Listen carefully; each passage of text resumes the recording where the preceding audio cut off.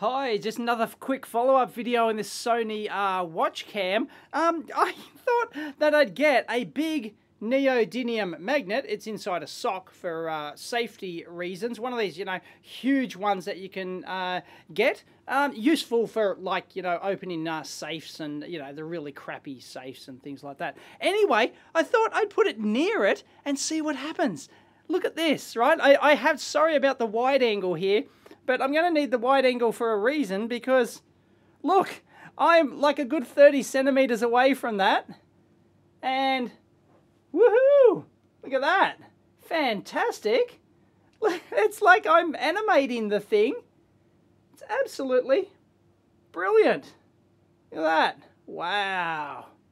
Jeez. You could have uh, done that, you know, you could have done like special effects for movies way back in the day if you, you know, before the dawn of digital.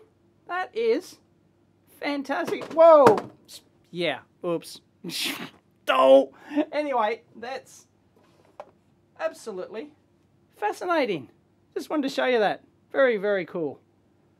Woo! Yeah. Hang on, I'll get a close-up of that. Here you go. Let's have a good look.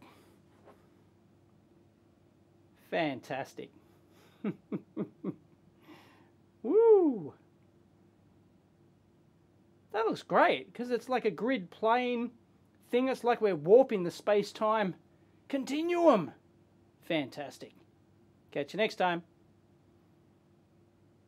Whoa, this is heavy.